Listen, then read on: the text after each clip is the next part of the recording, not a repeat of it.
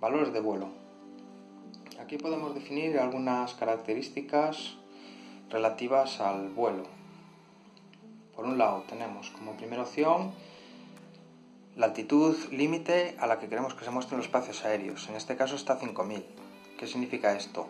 Que los espacios aéreos que tengan una base superior a 5000 metros no me los va a mostrar. Es interesante porque hay muchos espacios aéreos que son de capas superiores que, nunca vamos a llegar a ellos y, no tenemos necesidad de que sean mostrados en el mapa y, y con ello pues poder confundirnos en algún momento. Configuración de los valores de las térmicas. Estos valores son, por un lado, el valor medio, es decir, que si una térmica su ascendencia media superior a 3 metros segundo nos lo almacenará en el histórico de térmicas. O los metros a los que queremos que se considere que hemos perdido una térmica. Normalmente cuando subimos una térmica hay momentos en los que o no subimos tanto, incluso perdemos algo de altitud, 5 o 10 metros, pero luego continuamos ascendiendo en esa misma térmica. La térmica se consideraría que ha terminado cuando perdamos los metros que aquí indiquemos, en este caso 30 metros. Si perdemos más de 30 metros, esa térmica se, considera terminada. Detección de despegue y de aterrizaje, velocidad siempre en kilómetros por hora, velocidad GPS y variación de altitud más menos 5 metros, altitud barométrica, y para aterrizaje lo mismo. Pero a mayores le establecemos un tiempo en el cual se tienen que dar estas dos condiciones. No podemos sobrepasar esta velocidad ni puede haber una variación de altitud mayor o menor a 3 metros durante 30 segundos. Orden de los waypoints por distancia.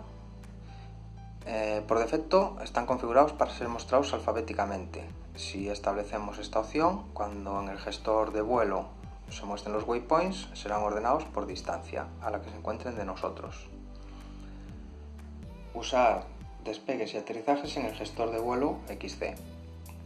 Internamente, Serifly dispone de una base de datos bastante extensa de despegues y aterrizajes a lo largo de todo el mundo. Al activar esta opción, nos mostrará esos despegues y esos aterrizajes como si fueran balizas.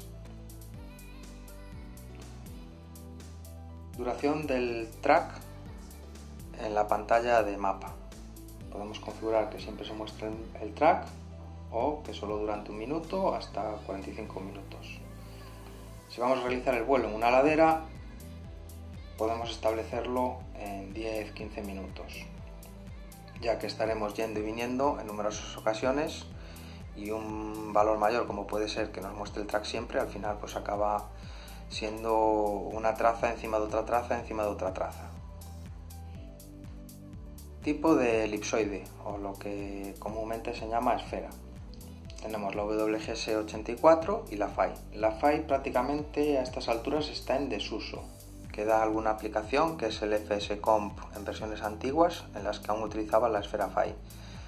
Salvo que el organizador diga lo contrario, nosotros siempre recomendamos la WGS84, tanto para competición, ruta como para vuelo XC. Y por último, la opción de normativa española. En España tenemos una normativa un poquito diferente, en la que en una competición los límites de altura eh, está permitido sobrepasarlos siempre que realicemos una serie de acciones para no ganar ventaja. El sistema nos ayudará a cumplir esta normativa. Asignación de, teclas. Por defecto, eh, los botones laterales, tanto superior como inferior, ya que son los mismos, con una pulsación corta nos permiten cambiar el zoom y con una pulsación larga nos permiten cambiar de pantalla. Si el cambio de pantalla cuando hacemos la pulsación larga en el botón de la derecha se realiza hacia la izquierda, pues a través de esta opción lo podemos invertir. Si no hemos cambiado la orientación de la pantalla no deberíamos cambiar ninguno de estos ajustes.